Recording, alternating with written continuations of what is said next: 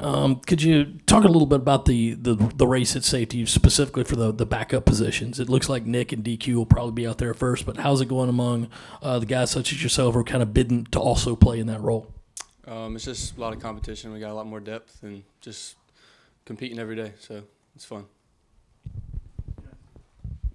Hey David, you know you're a first year guy here and stuff. What's it kind of been like going through fall camp for the first time and um, you know adjusting to college football uh, before the season starts? Um, I thought it would be more physical strain, but it's a lot of mental stuff. You know, your mental capacity, and you got to stay positive throughout the whole time. But I'm enjoying it. It's fun. I know the playing time decision is ultimately up to the coaches, but do you have an idea of what kind of role you could be uh, up for you this this fall, whether special teams, defense, or anything like that? Uh, that's probably up to Coach Beamer, but you know, just doing whatever I can to help out the team, I'll do.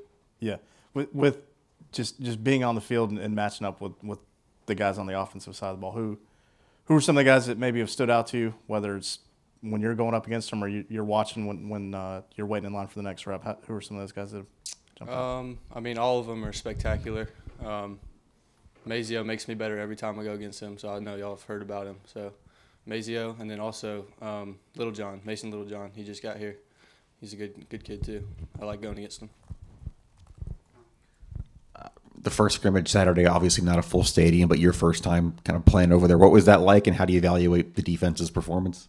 You said the spring or the scrimmage? The scrimmage on Saturday. Um, I mean, it's always a great time going over there. Um, you know, it's easier than practice. You just go out there and play, and uh, just doing the best we can on defense to be the best we can. That's it.